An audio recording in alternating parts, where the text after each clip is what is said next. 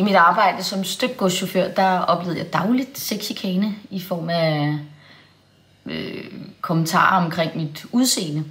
Og det var egentlig okay, så længe at mændene de holdt sig på sådan en vis fysisk afstand.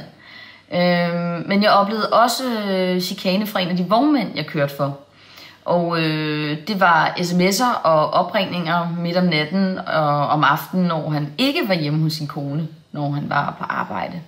Og øh, jeg takkede pænt nej til alle de her tilbud, og øh, det medførte så, at han fik en øh, meget ubehagelig og truende adfærd over for mig.